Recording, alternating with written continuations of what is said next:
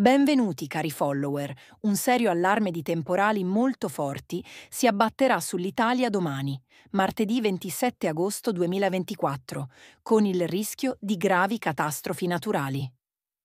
Ma prima di entrare nei dettagli, spero che condividiate questo avviso con quante più persone possibile e che ci sosteniate anche premendo il pulsante mi piace per questo video per motivarci a continuare e fornirvi il miglior ringraziamento.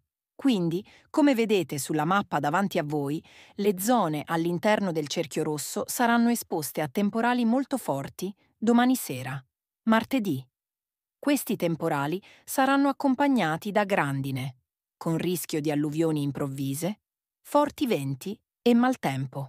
Il modello europeo ha lanciato un allarme rosso scuro per il centro e il sud Italia per il pericolo di questi temporali molto forti, che potrebbero causare grossi problemi ai cittadini.